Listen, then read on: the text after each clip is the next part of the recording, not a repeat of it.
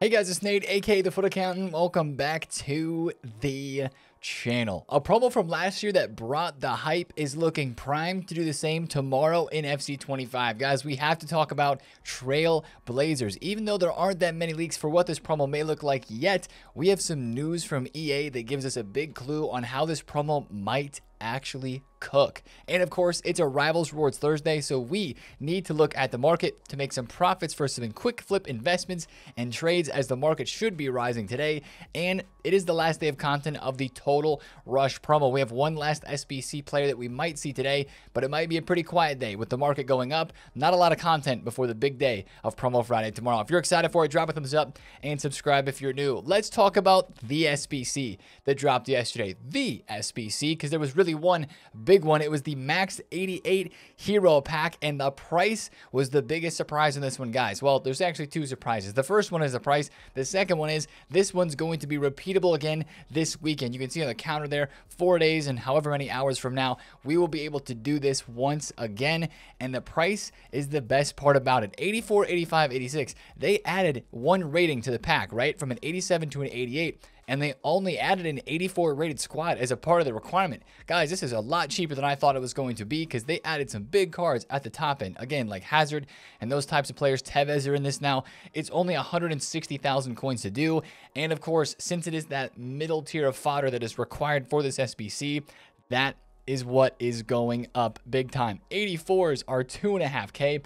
85s are 6,000 coins, 86s are 9,500 coins, and then the higher tier fodder is down a little bit, which is actually creating another great opportunity to invest because now we know of some bigger SBCs that are upcoming with potential player of the months. So I still love the higher rated fodder. This is another opportunity to get in as it started to go up. That's all I'll say about that. But if you have this tier of fodder, the 84s up to the 87s, I bet it takes a little dip today with Rivals Rewards and then goes up. And that's probably one of your best times to sell before we get into all of the packs that this weekend will bring. So that's kind of the impact on the fodder market for that SBC right there. Guys, I did open this straight away yesterday. I'm going to tease the second channel if you want to check it out. Click the link above. We got an okay poll. Wasn't insane, but that's all that I'll say. Go check it out there. Now, also with yesterday's content, we had League SBCs return. And that was kind of a surprise, to be honest. The Mixed Leagues upgrade and the Premium Mixed Leagues upgrades. I know if you've played Ultimate Team for a long time, these are not the League SBCs that you maybe remember from like FIFA 17, FIFA 18, the OG League SBCs where you got a player reward and it was like 20 squads to do. But these are the similar League SBCs that we had in previous years. And this is actually so nice for those of you guys that like to grind the menus, collect cards, instead of putting them into upgrade packs, put them into these packs, which you can pack icons from, heroes from, right? Because they're not rating specific packs. You've got tradable ones in here and untradables. The biggest thing to note about this is it creates value for a lot of random players on this game. Libertadores and Sudamericana players, which are now just golds this year. They're not their own card design. If you guys had not noticed that yet, some of those are going up on the market. And of course, this is going to create sniping filters, low budget trading filters all the time because people will want to do, especially right now, it's pretty hot to do these SBCs. If you want to get them done or if you want to start trading with them, especially for the premium mixed league SBC, go inside of these and see. Like the Libertadores ones, 27,000 coins to do. I don't know if this is 100% accurate or not, but that means look at a lot of these cards 2,000 coins, 2,000, 1,900. That means a lot of these cards are going to be moving and incredible opportunities to trade with them. I bet some of the silver prices go down today with marquee matchups and reward supply. More so marquee matchups because that will supply some silvers a bit with like Electrum packs and stuff. You will have great opportunities to trade with those if you're on a lower budget. Some of you guys absolutely love this. And this is also just a time where if you want packs to save up for a promo like tomorrow, you can go and get these SBC done. They're not that expensive. 39,000 coins for the premium and 14K for the mixed league upgrade. And you can do them unlimited, repeatable, stack as many packs as you want with some of them being tradable. So that's nice to have those 100%. Also, we have the Total Rush Challenge 6. Guys, this might be one of the hardest SBCs to complete that we've had in a while. It is five countries minimum, five leagues minimum. You have to find some like club links, I believe, with this 80 rated squad as well. And if you take a look, FUTBIN says that it's like 6,000 coins to do the SBC, but solution trading with this goes crazy. There are silvers, bronzes, and even gold cards. It, it says that it's like uh, 4,000 coins to complete, but I bet if I went and looked at the market right now, some of these non-rares or maybe the silvers are like max price at 5k. Solution trading at the moment is hot because of this SBC and the mixed leagues. If you like trading lower budget or if you're on less than like 20, 30,000 coins, go and look at some solution trading opportunities or just maybe check your club because a lot of Liga F uh, and I think it was League One players are like four to 5,000 coins with those big club links uh, because people are putting those into SBC and getting it done for a mega pack, right? There's a lot of demand because people want to get that mega pack. So that was yesterday's content with those SBCs there. A lot of SBC content for sure, but the hero pack was the biggest one. We'll talk more about that in the market segment, but Let's look at some news from yesterday. Before we get into the Trailblazers content, we have not one but two Player of the Month votings live. La Liga, which this one we don't even, even need to spend a lot of time talking about because it is basically wrapped up already who's going to win this. We have Griezmann, Lewa, and Vinny as a part of the vote. But if you take a look at Lewa's stats, you know he's winning. He's got five goals on the month, and that is way more than anybody else in the rest of the vote. I believe Lewa win, will win that award, and that will be an SBC coming in the next couple of weeks. Now, for Liga F, it gets a bit more interesting. You have a lot of players in this vote, but namely Putellas, who had three appearances, three goals, and one assist in only 162 minutes, which is pretty crazy if you average that out. But there's a lot of hype yesterday on Twitter that we could be having a player of the month, Putellas, and I would agree. She is probably one of the favorites, maybe not the favorite, but very, very likely that she would win the Player of the Month vote. I think these votes will end on Monday or Tuesday sometime. Late weekend, early start to next week is when the votings will end, and the SBCs could come at the end of this next week, or they could be the week after that, somewhere in there, early November or very, very late October. Um, it's very early, to be honest, to have this vote. I mean, to be honest, October is not over yet, and this is for the Player of the Month for October. So um, maybe the SBCs will have to wait until we actually turn the calendar into November. But a Putellas and a Lewandowski SBC might be coming soon. And that Putellas SBC for sure is why I'm still saying that's an SBC that's not maybe like on Player of the Month Mbappe type level or Player of the Month Vinny Jr. or something crazy like that. But a Putellas SBC would definitely be over a million coins. Her promo card is uh, what 2.1 million coins right now for the Total Rush version. There was some panic yesterday because people saw this news. They started selling the gold version of Putellas, even though she is out of packs.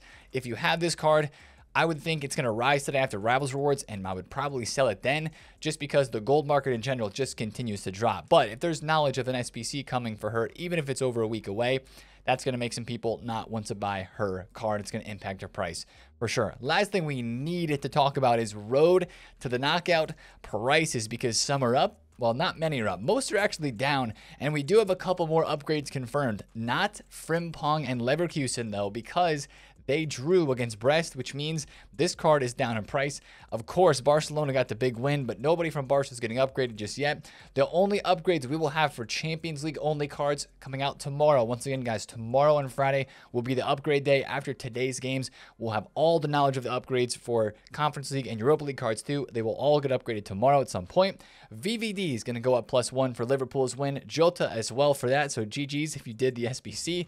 And then, of course, Watkins from the games earlier in the week. So just three cards are getting upgraded. It's because a lot of teams either drew or lost, like Frimpong. You know, even the teams that were that, that lost, like they were maybe favored to win. Harry Kane, you know, Bayern, they're down a lot. His his card is down a lot because they didn't progress towards upgrades. Araujo, he rose up a little bit because of Barca's win, but still, he is not getting any upgrades right now. They still need one more win, and he needs to score in one more match. So technically, this next game for Barca, really, really good chance that uh, Araujo gets a plus two actually from that one. So we have that situation also with Julian Brandt. Same thing that we mentioned in yesterday's video, but a lot of the RTTKs, as you can see here, go down after their games. And I think that's just because um, of the like players are not hitting those upgrade quotas and they've been invested in for so long. We also have a big promo coming this weekend that's got a lot of hype as well. So maybe people are selling out of those cards. So that's just kind of something to even consider if you've invested in a Cherokee or a Romero or a Garnacho ahead of today's games or a Dybala as well. Like United, like even if they win today, United's playing who? Fenerbahce. If they win, that's their first win. If they score, that's their third or fourth. So they progress towards an upgrade, but I would be very, very shocked if Garnacho is above 380 or 400,000 coins tomorrow night when we're looking at the video at the exact same time. So selling in the hype with these cards seems to be most of the play, especially considering the general market conditions that we are in. Now, Let's talk about Trailblazers. The main point of the video today, guys, the news of the promo coming out. The, the, crazy thing is, we have a loading screen that was added yesterday to this game, which I want to show you guys right now. There's barely any leaks at the moment. It's kind of nice and refreshing to have a little bit of, you know, no leaks. There's going to be leaks. So I, I'm not just getting ahead of myself by saying that. But it's nice to see the loading screen to get a little bit of genuine hype for the promo here with some interesting little tidbits in here EA's genuinely focusing on the playstyle pluses and the role plus pluses, as you can see on this loading screen. You've got a center back, a cam, left wing, and striker, and people are trying to speculate who some of these players may be. Now, this is a second year promo in FC. Last year we had it for the first time in 24, and it was all about playstyle pluses, if you guys remember, right? As you can tell down here, they said playstyle pluses upgrades for players on fire. It's kind of like an early team of the season is honestly a way that you could describe it because it's all about players that have perform, been performing well in real life, and EA gives them uh, playstyle pluses or most of the cards playstyle pluses in the areas that they have been performing well. So, like last year, Jude Bellingham, they gave him technical plus. They also gave him finesse shot and incisive pass playstyles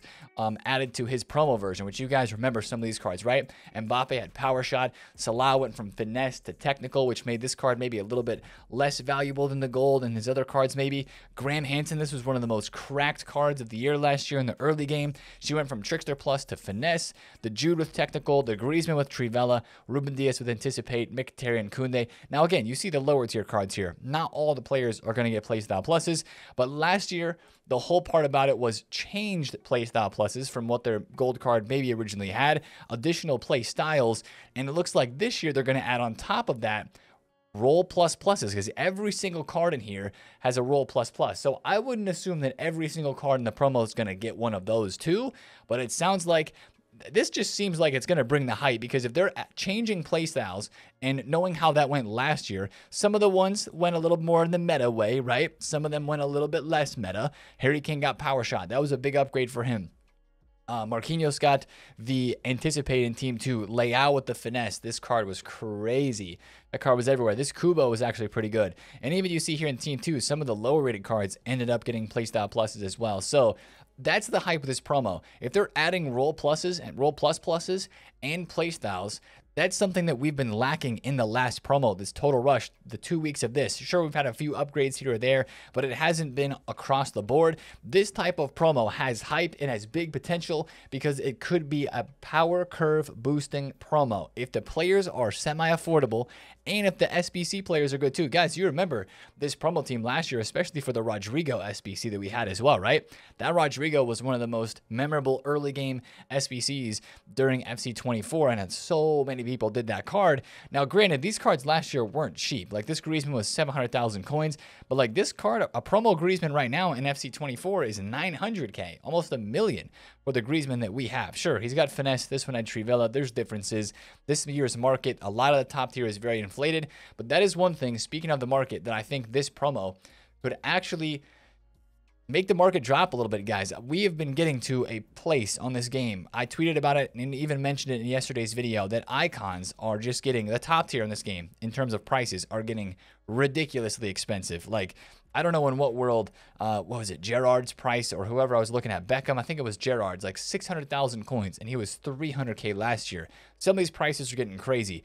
And if new cards are going to come out like these Trailblazers that have high playstyle plus upgrades, playstyle pluses, playstyles regular, and role plus pluses, it could actually kind of correct the market a bit with this power curve boost. Because think about it, if people have coins, they're going to want to go to the best possible cards. We all want to keep progressing as the power curve goes up. So this could be that promo that boosts the curve a little bit and makes prices drop. So I'm not saying that to scare you away from investing because I'm still investing all of my coins today for Division Rivals rewards for the market rise. I just think that's going to impact the market later on this weekend. Now, speaking of leaks, this is the only leak that we have right now. Pulisic is set to come into Ultimate Team soon. And again, this is the only leak. We've already looked at this. There's nothing else at the moment. I think the leakers have information on who's in the team. I think they're withholding it at this point because they want to leak it today so they could potentially make coins off of it. I know uh, that's a theory. I'm not a leaker. I don't know. I don't have that information.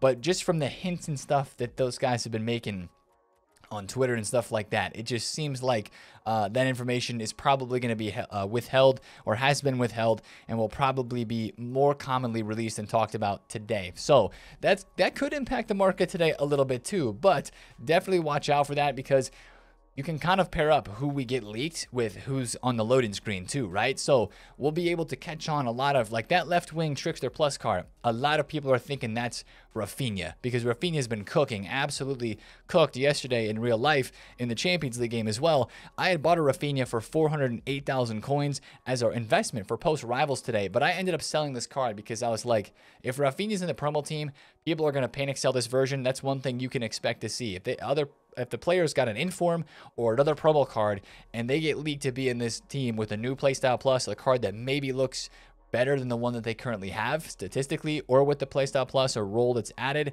then I would expect to see that price drop on that player. So I just took the safe cash on Raphinha there. People are thinking that this center back with anticipate might be Saliba, but then again, that wouldn't be a change to Saliba's playstyle plus. So it could be somebody else, maybe Gabriel. Not to just mention Arsenal players, could be a lot of different people. So just kind of incorporate that and watch the market today in terms of the leaks that could impact a few things here or there. Now, some of you guys might also ask, Nate, are you saving packs? No, I am not going to save my rivals rewards today. I'm going to be um, ripping those straight away because I still have hopes of maybe getting insanely lucky for the team of cards that is in packs right now. We'll have other packs to open throughout the week. We'll have FUT champs rewards and stuff like that. So we'll get packs. I'm not worried about it, but um, I know some people, some of you guys, maybe if there's just an idea that you want to save your packs. You're like, nah, these packs, these cards, they don't do it for me. You could save packs. I don't think a ton of people are going to, but you could absolutely go ahead and do that. Now, that's enough about Trailblazers.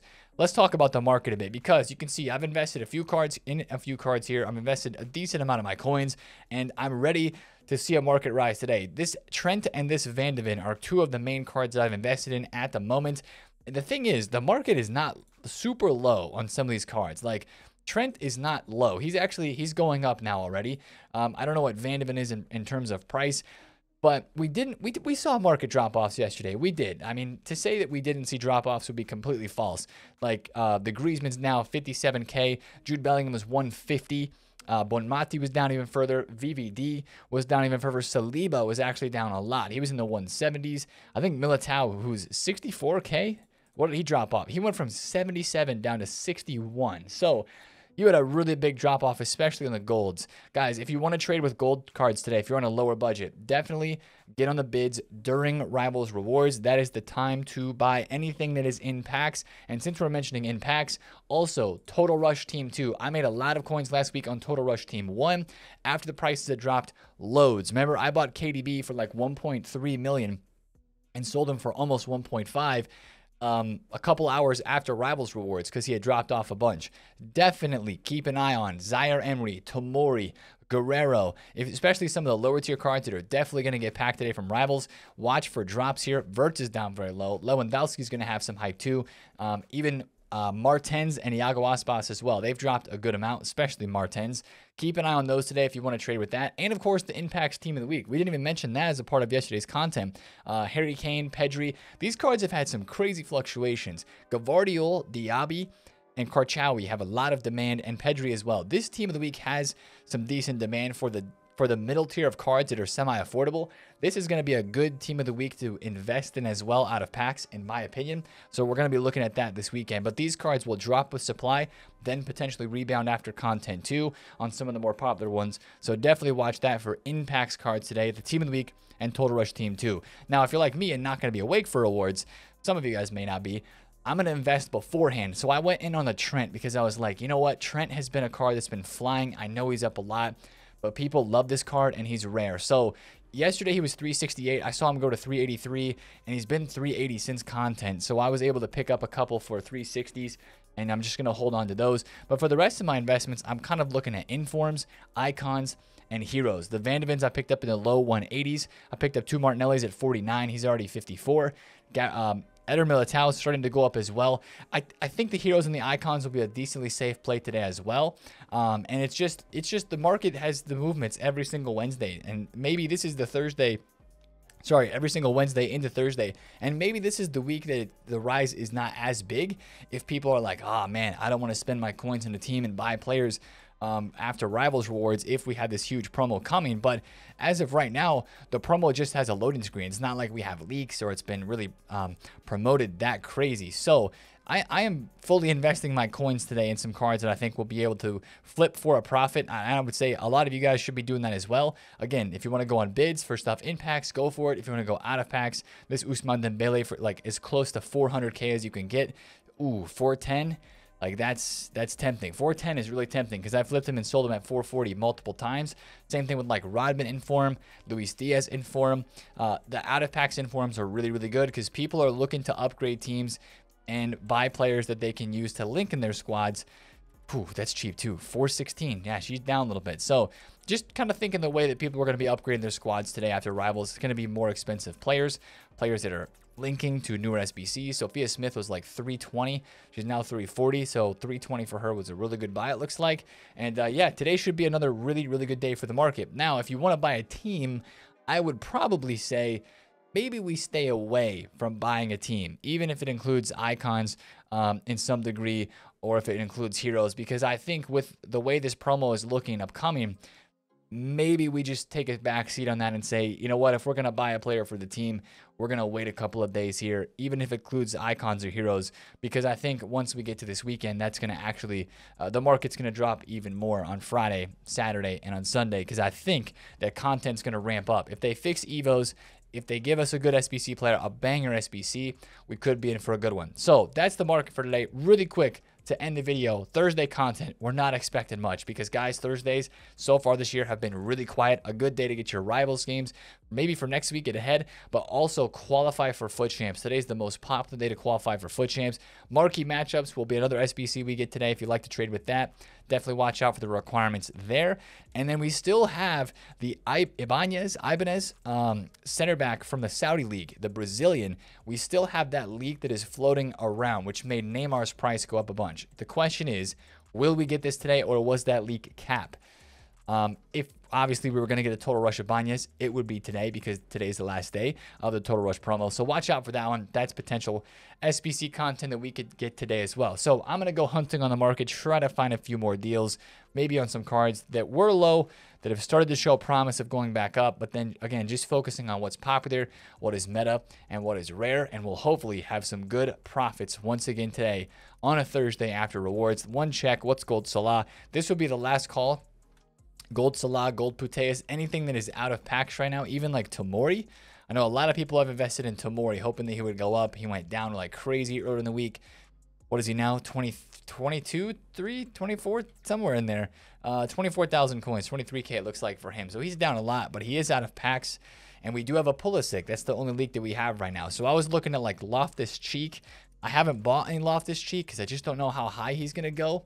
Like if I buy this for 260 and he goes to 280, is that really worth it to me? I really wish that he would go to like 300 or something crazy, and I don't know if he's going to go that high. So um, I might pass on that investment, but that's maybe one that you could look at if you like it. But yeah, make sure you do a little research on the market to buy some cards today because this is the easiest day of the week to make coins. The market goes up every single week, and I think it's going to do the same today. So try to find some good cards, find cards that people will want to buy, especially if they're rare that's what you're looking for. So that's the video for me today, guys. If you did enjoy it, drop a thumbs up on it, comment below if you have any questions, and subscribe if you're new. Check out the second channel for yesterday's big improvements in our division rival status as well for the big rewards we're going to have today. Check that out there, and make sure to come to the stream today to see those division rivals rewards when we open them. I appreciate you guys, man. Have a great Thursday. It's been Nathan Count. See you later. Peace out.